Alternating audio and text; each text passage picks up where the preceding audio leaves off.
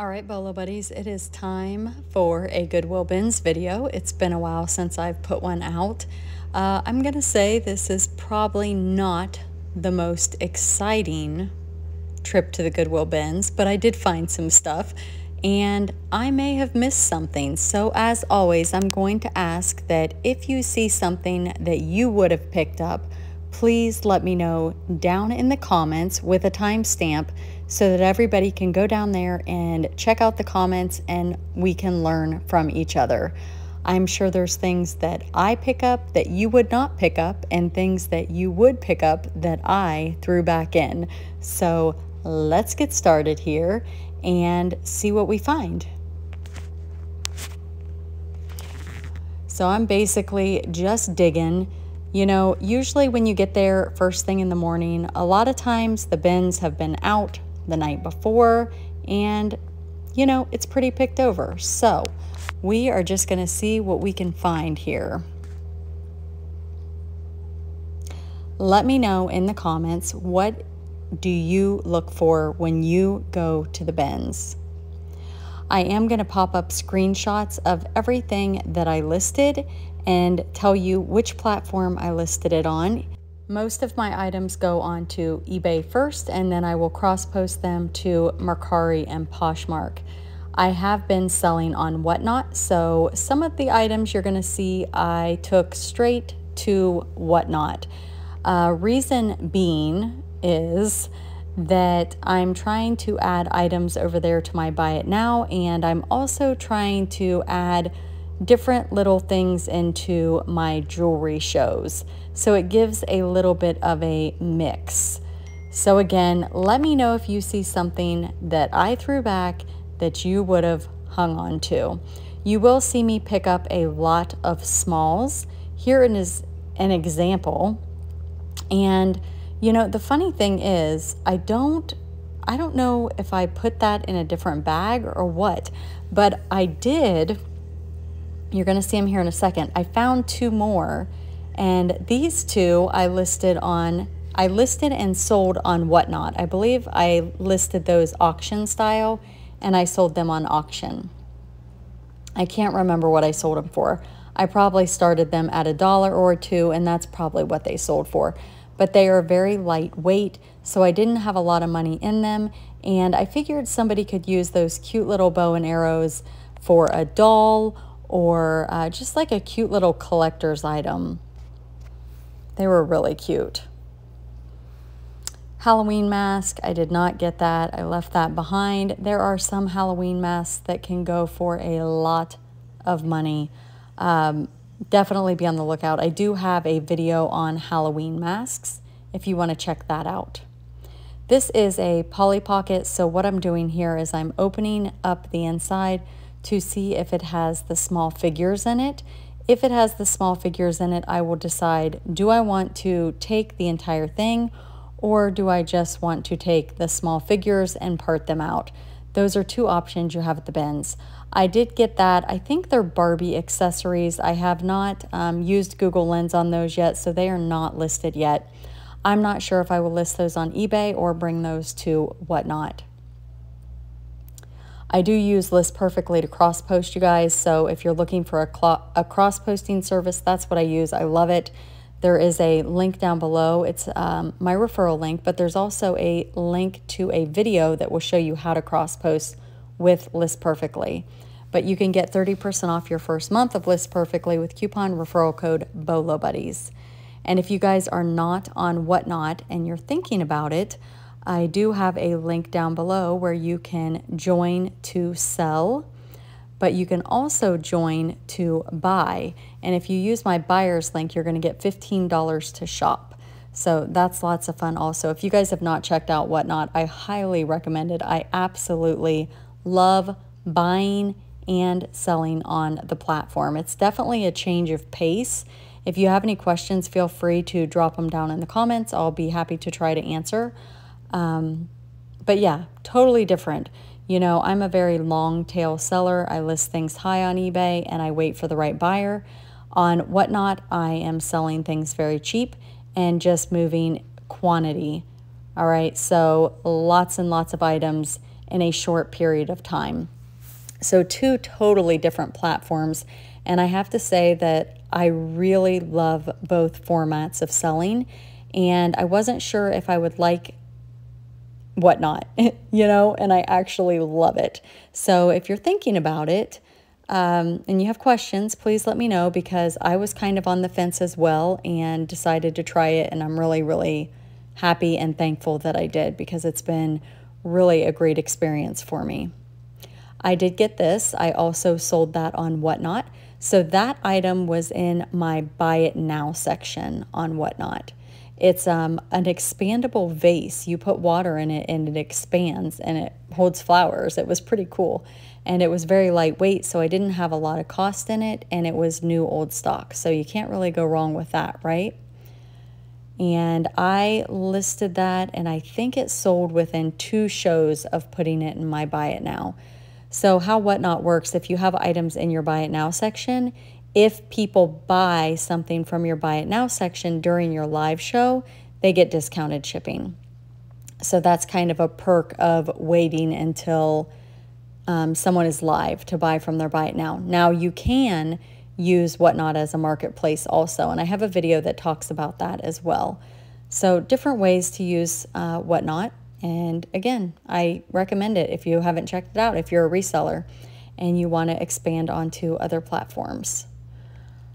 All right, we are going to keep digging here. Would you guys have picked up these hats? I know a lot of people will pick up any hat. Um, most hats are bread and butter, some are long tail, some go for crazy big money. It really just Depends on what you find for sure. This was a whole bunch of like hair clips. I don't know. Maybe I should have got this. What do you guys think? Would you have grabbed it? I'm feeling like I may have left some money in the bin. Let me know what you guys think. I did pick this up. It is a Hallmark Baby's First Christmas. And I've talked about this before. Even if they have a date on them, people will look for them. Uh, they will use them as like replacements. So let's say they had the item and it broke and they need to replace it. Or let's say down the road, they're like, I want to get an ornament for every year of whatever. Um, people will collect them that way as well. And this also sold on Whatnot. I can't, I think I took that to auction also, but I can't remember what I sold it for. It's really hard to go back and search solds I, I would have to kind of just scroll and scroll and scroll until I find it. So it was two or three shows ago, and I typically sell anywhere between 60 to 100 items per show. So I would have had to have really scrolled a long time to find that one. So I am guessing it was around $5. I usually start um, my items at $5 or less. Sometimes I start them at a dollar, sometimes I start them at two, three. It really just depends on what the item is. I don't typically start my items any higher than $5 because, you know, the goal is for you to start your item at a price point that is going to encourage people to actually want to engage on your listing because if the price if I start my item at $30, nobody's going to buy it they're just going to move on to another show. So you do have to be competitive on whatnot. And sometimes, you know, your item ends up selling for a dollar or $5 or $3 and you don't make a whole lot of money. But you know what? People are going to come back because they're getting good deals. So that is the difference between whatnot and selling on like a platform like eBay. On eBay, I'm going to list my item high. I'm going to put best offer on it and I'm going to be patient. So, two totally different formats. Both work really well and I enjoy both. All right, I picked this up, but I left it behind. Um, I think it was just some sort of like little Easter figurine, and I just decided that I did not need it and left it in the bins. I don't know about you guys, but I have a ginormous money pile just tons and tons and tons of inventory. Let me know in the comments how big is your money pile? Do you have a storage unit? Do you have 25 totes full? Do you have, I don't know, what, what's your uh, Tell me about your money pile. It's always fun to hear about people's money piles. What's even better is pictures of money piles. I should totally do a video on people's money piles. That would be so funny. Oh my goodness, we could start with mine. It's like a money mountain. It's a lot. And you guys have probably seen it if you watch my channel on a regular basis in my reseller vlogs because I have shared it. It is a massive pile.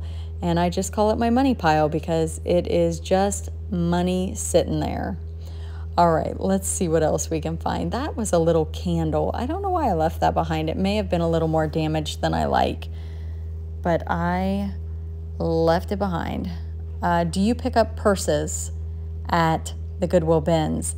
And do you check them? If you don't buy them, do you look for money? I know a lot of people look for money in the purses and the bags and different things like that. So let me know if you're one of the people that are searching for money. And if so, have you ever found any money? I think I found a penny once and I think I left it there. It's so funny. Yeah, I, I know some people that have found a lot of money in the bins. So I don't know if they just like leave the money in the item and pay for the item or if they take the money out and put it in their pocket. I have no idea what the rules are for finding money at the bins. If you know what you're supposed to do with the money if you find it at the Goodwill bins, let me know down in the comments. Or it could be a what would you do if you found money at the bins? I like that. You guys let me know in the comments. That should be fun. There was an old cooler. Some old coolers can do pretty good, but I did not want to mess with shipping that.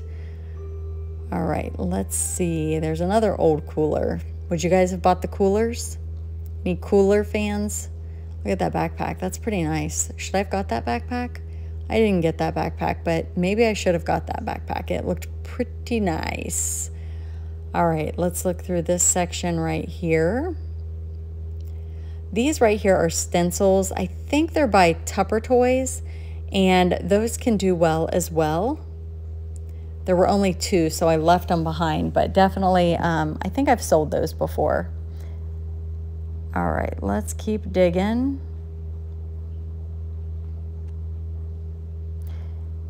And we're getting into some more toys.